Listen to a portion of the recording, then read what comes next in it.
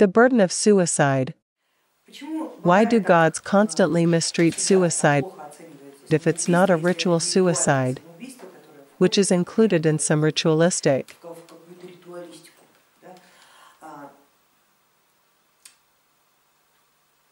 It is believed that the people, especially in the times when they lived under the gods, had certain obligations that were imposed on them. They had to do something in this world. A series of events, both important and unimportant, were formed for them. These events have already been woven into the very fabric of our reality, and a person who commits suicide voluntarily stops moving along this fabric. It means that the events formed for him should be dismantled, or someone else should be directed to follow these very events, which is always an energy intensive process. Therefore, the universe will look with suspicion on all members of the bloodline and family where someone has betrayed their own agreement in this way. It is believed that you have an agreement in this life that you came here with to do certain things. You didn't follow that agreement. And from that point of view, you were absolutely wrong. A ritual suicide, for example, which is practiced in certain systems and in certain religions, is a completely different matter. There was a necessary condition, which was that a person had to be cut off from his family. In other words, he shouldn't hurt anyone else, he should sever all ties with the members of his bloodline. Better fight to the end.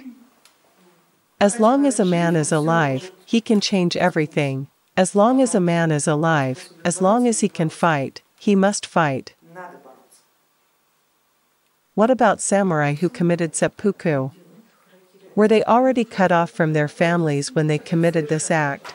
It was different for them because they lived in a completely different system, where there was a belief that if you had been insulted, the only way to preserve the honor of your family was to wash it away with your own blood. On the contrary, in their culture suicide was encouraged if it was carried out according to the rules of ritualism and there were sufficient reasons for it. And they believed that if a person committed a crime or made a mistake, it would later become a source of shame for all members of his family, so he would rather wash it away with his own blood than leave his descendants with this shame forever.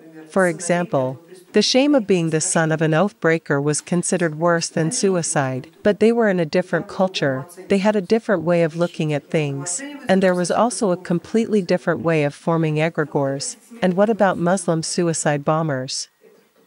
Well, it is the same for them. They live in a totally different system. They do not see it as suicide, but as a ritual murder committed by one person. Because that person is not just killing himself, he is taking a lot of people with him. In this way, he acts as a weapon. With his own blood, he strengthens the rights of Allah in this word. There is another egregore, based on a different set of laws, but now we are talking about what has been done on the basis of Christianity and our culture, on the basis of our operating system. And here the commandments are very clear about what should never be done.